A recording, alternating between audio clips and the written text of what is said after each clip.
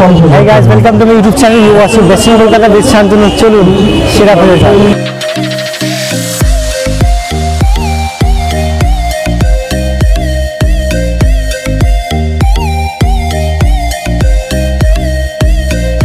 তো আজকে আমরা এসেছি এবিপি আনন্দ খাইবার পাস দু হাজার কুড়িতে। আর এবিপি আনন্দ খাইবার পাস কুড়িতে এসে আমি তো প্রচুর আপ্লুত, কারণ এখানে প্রচুর স্টল দেখতে পাচ্ছি আমি। আপনাদের ক্লিপিংয়ে দেখাবো, এত স্টল আছে এখানে। এখানে আমার পাশে আছে এটা যে হিমাম ইমামির সামথিং তারপর হচ্ছে হোটেল অন্নপূর্ণা আছে, হিন্দুস্তান কুইজিন আছে, তারপরে আমি হচ্ছে গো লেভেলিস দেখতে পাচ্ছি ওখানে রেড রোস্টার আছে, তাছাড়া হচ্ছে দাদাবদি দাদাবদি বিরিয়ানি আছে, আর আমিনিয়া আছে নিজামসের কাঠি রোল আছে আরও অনেক রকম লিস্টে এত কিছু আছে যেটা আমি বলে শেষ করতে পারব না। তো আমি যতটা পসিবল ক্লিপে দেখাবো, আর আজকে আমি একাই এসেছি। ফলে হয়তো খাওয়াটা পসিবল আমরা যেটা এক হাতে খেতে পারব, আমি অবশ্যই দেখাবো। আর যেটা এক হাতে খেতে পারব না, সেটা তো নিয়ে লাভ নেই, কারণ আমি দেখাতে পারব না। আর এখানে ভিড়টা দেখুন একবার। প্রচুর ভিড়। আজকে আমি এসেছি দুপুরবেলা দুপুরবেলা আমি ভেবেছিলাম একটু ভিড়টা কম হবে, কিন্তু আই ওয়াজ রং মানে মানুষজন এত পরিমাণে এসছে, আর জাস্ট অসাধারণ অ্যাটমসফিয়ার আপনাদের পুরোটা ঘুরিয়ে দেখাচ্ছি। আর প্রত্যেকটা স্টল আশা করি কভার করতে পারব। আর যদি না পারি, একটু একটু করে ক্লিপ দেখিয়ে দেবো। সেই ক্লিপ দেখে আপনারা অ্যাডজাস্ট করে নিন।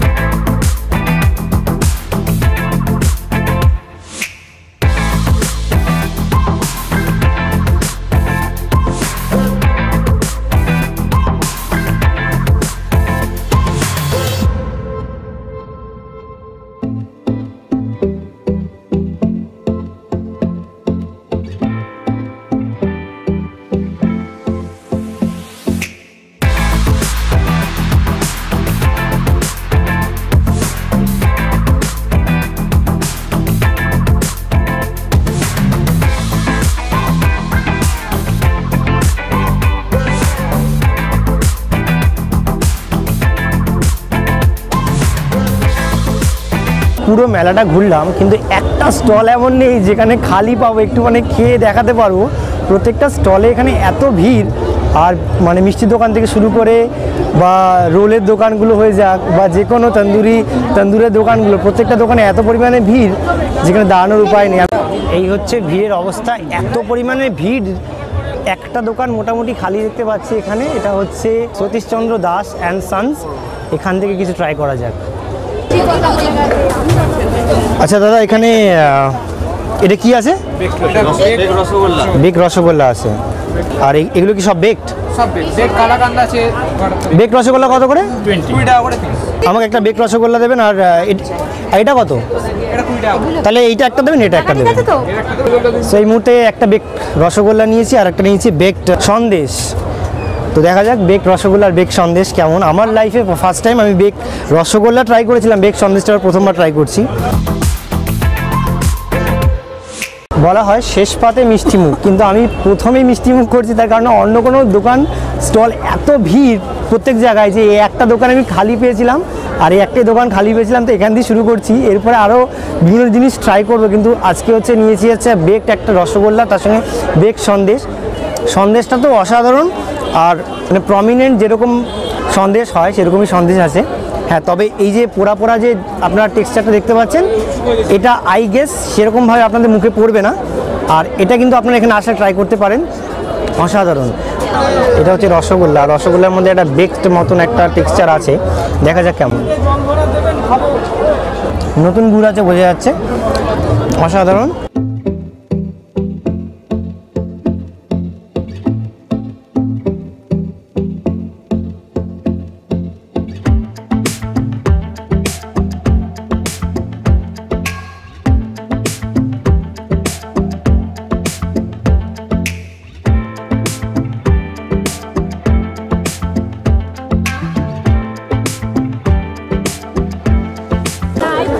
আমাদের সব থেকে ফেভারিট দাদা বৌদির বিরিয়ানি শপ আর এই হচ্ছে তার লাইন পুরো জায়গাটায় লাইন এই পুরো জায়গাটায় আপনি লাইন দেখতে পারবেন। বেসিক্যালি সব জায়গাতেই লাইন আছে। এখন আমি দাঁড়িয়ে আছি নিজামসের রেস্টুরেন্টে নিজামসে কাঠি রোল নেব। বিখ্যাত কাঠি রোল তার জন্য আমাকে লাইন দিতে হচ্ছে। লাইনে মোটামুটি কম করে হলো কুড়ি জন আছে এখানে লাইনে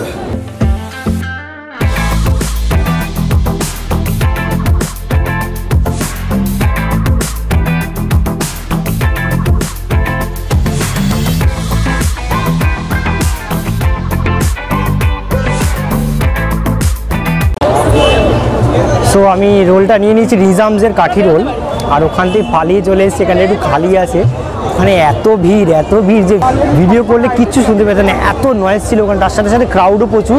এর আগে আমি অলরেডি একবার নিজামসের কাঠি রোল, যেদিনকার টোয়েন্টি থার্ড অফ জানুয়ারি আমি এসেছিলাম এখানে, আমি ট্রাই করেছিলাম, বেশ ভালো ছিল। তাই জন্য আজকেও আমি নিয়ে নিয়েছি এই কাঠি রোলটা।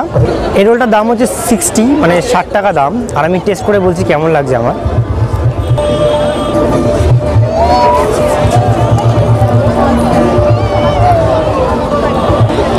চিকেনটাতে পৌঁছাতে পারিনি। পুরোটাই পরোটাটা গেছে এখনও পর্যন্ত মুখে। চিকেনটাতে পৌঁছে বলছি, আসলে চিকেনটার টেস্ট আর এই পরোটার টেস্টটা মিলিয়ে রোলটা কেমন লাগছে? পরোটার এই আউটার লেয়ারটা একটু শক্ত, চিকেনের পরিমাণটা একটু কম, কষা, পেঁয়াজ দুটো ভালো করেই আছে। তাই আমার মনে হয় না নিজামসের রোল এখানে যতটা টেস্টি আমি তেইশ তারিখ খেয়েছিলাম, সেরকম টেস্টি হতে পারে আজকে ভিড় বেশি, তার জন্য হতে পারে। নিজামসের রোলের পর, আর যদি পসিবলি আর একটা আমার জিনিস খাবার ইচ্ছা আছে, সেটা হচ্ছে ফায়ার পান ভিডিওটা দেখতে থাকুন, আর ভিডিও যদি পছন্দ হয়, অবশ্যই চ্যানেলটাকে সাবস্ক্রাইব করে রাখুন। সঙ্গে সঙ্গে ভিডিওটা লাইক করে দিন।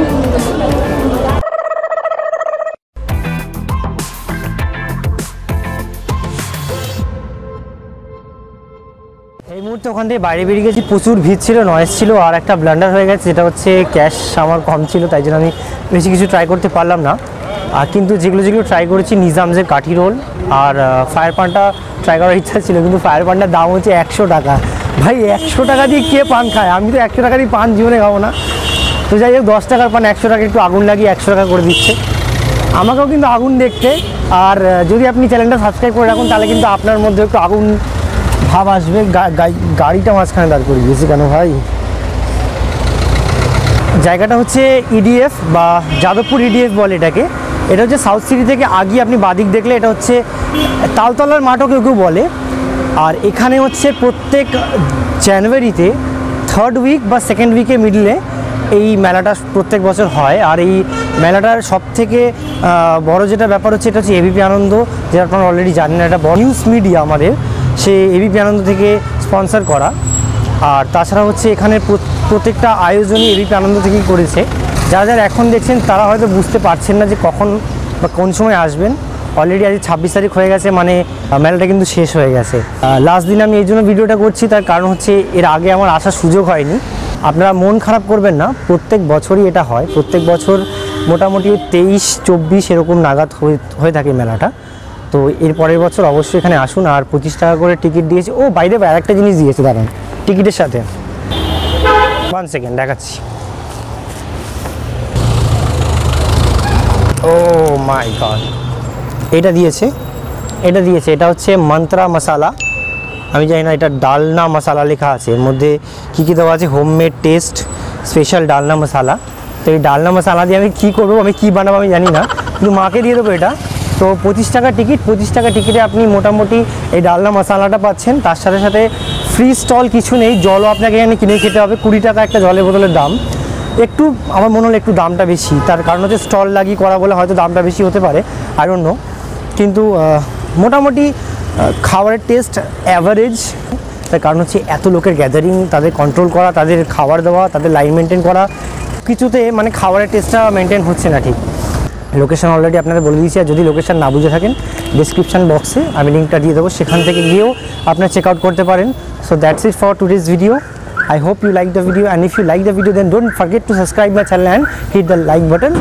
And till then bye bye